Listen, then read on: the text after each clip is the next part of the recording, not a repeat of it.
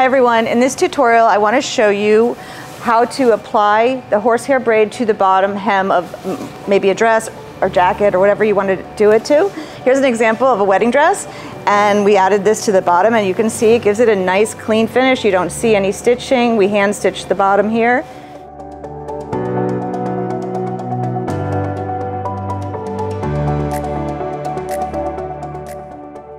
So I'm going to go ahead and discuss also, here, thank you, Ashley. I'm going to discuss the different types of horsehair braid.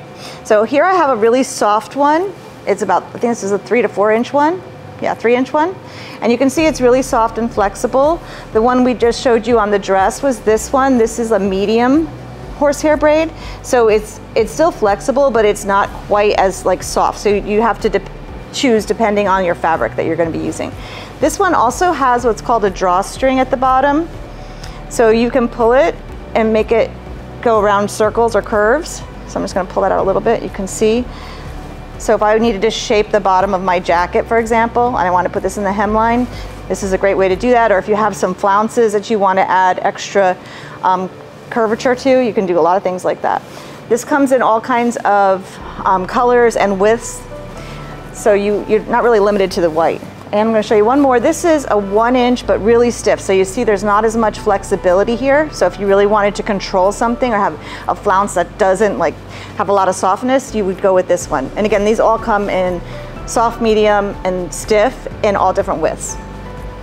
So today I'm going to show you how to actually apply it onto silk charmeuse.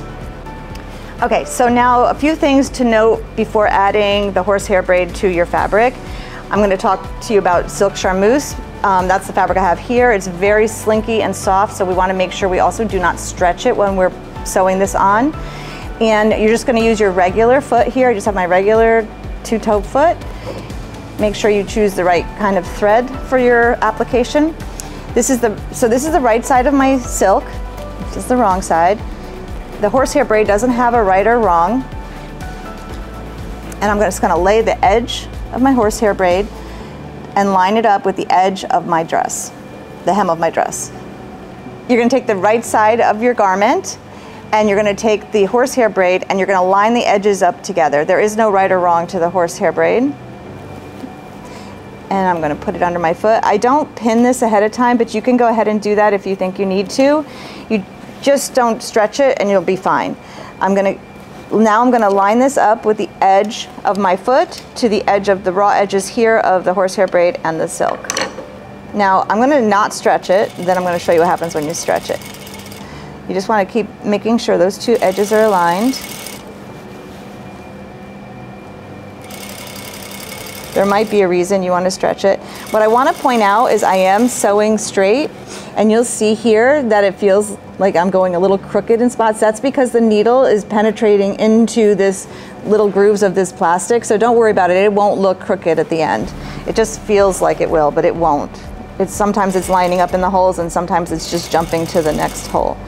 I also recommend when you are finished with this horsehair braid on your project to change your needle because again, as it's penetrating this plastic, it could be adding some burrs to your needle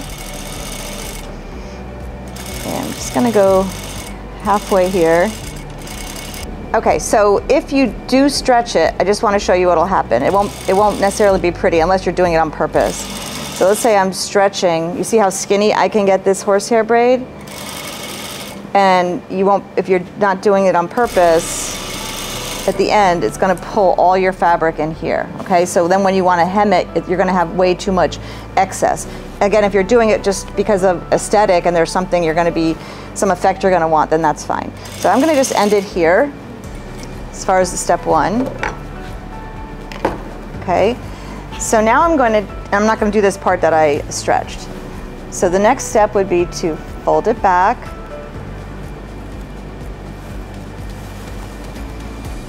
Oh, let me cut this off.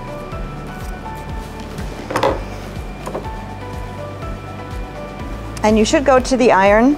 I'm just gonna use my hands to show you, but you definitely want to go to the iron and make that nice and flat. And what I'm doing is making sure that the horsehair, that this is the edge of the horsehair, so the horsehair is in there. If I don't, it might just start doing that and it's not going to be even. So just make sure that goes in there and then put some pins at the top edge of the horsehair braid.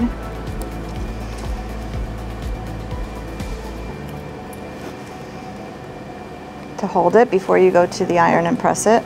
See how, see how it's like wanting to roll? So I'm just forcing it.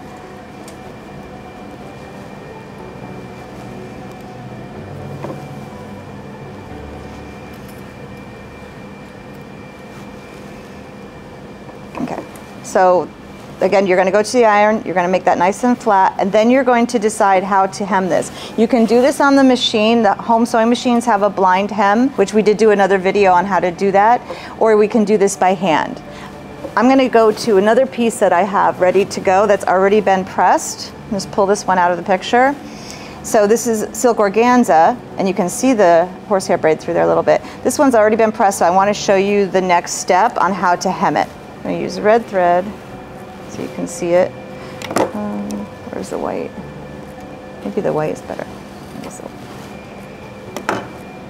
So I'm going to use a stitch method called the flat catch stitch. Just going to put the thread in my needle. I'm going to double it so that you can see it better in the video, but you really want to just use one fine layer of thread. I would even do like a silk thread. So I'm going to so I'm right-handed, I'm gonna be working from the top down. If you're left-handed, you're probably gonna wanna work the other direction. So the first thing you wanna do is anchor your thread. I'm gonna do that a couple times. Okay, and I'm gonna do the flat catch stitch. So I'm bringing the thread to my right at an angle. I'm gonna put it now horizontal with the hemline and just try to catch one thread. You're going to see this clearly because it's white thread on black. Now I'm keeping the thread over my needle. The first one is a little fiddly. You'll see the next one will be easier. Okay, and now I'm going to come back over and you see that little crisscross? That's what you want because you want this stitch to remain flexible. And I'm going to go down to the bottom and now I'm going to go vertically. I'm going to take one thread and I'm going to go into my horsehair braid just a tiny bit in.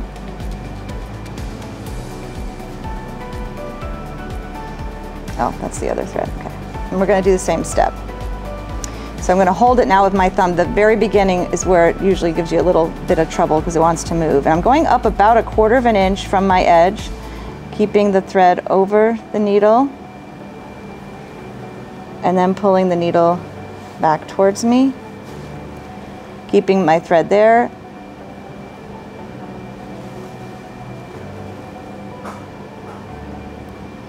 And then catching. See, the thread is always over the needle, which is allowing it to do those little crisscrosses.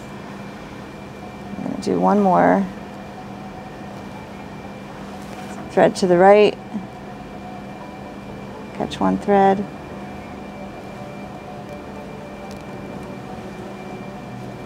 And you can see how flexible the stitch is. Even as I'm working with it, I can move it. You want to do that so that when you're walking, moving, it does the stitches don't pop. And then one more time. Okay, so that's what you want to start to create these little triangles, little crisscrossy triangles. Now on this side, you're definitely going to be seeing the stitch because again, I'm using white thread, but if you did it with the matching thread, you wouldn't barely see it. This is organza. If we do it on the silk charmeuse, you wouldn't see it at all. Okay, so that is how you do your horsehair braid fine edge finish.